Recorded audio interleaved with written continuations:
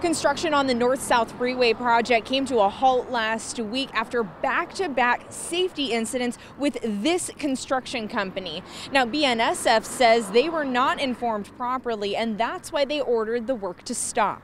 BNSF spokesperson Courtney Wallace described the incidents as slips and falls. She said the WashDOT contractor Halme Construction did not properly report the incidents to BNSF. So we asked WashDOT spokesperson Ryan Overton about this. Yeah, there was a safety concern that was brought to us uh, by BNSF. And for us, safety is one of our core values. So that was important to us. When they raise concerns, we of course want to adhere to them. They're our partners in this project. So we sat down with them, uh, worked out the issues, and we shut down for about a week.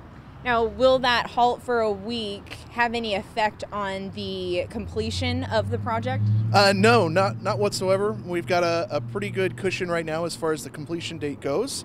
Uh, we've had such a mild winter that crews have been able to work through most of the winter and are actually a little bit ahead of schedule at this time.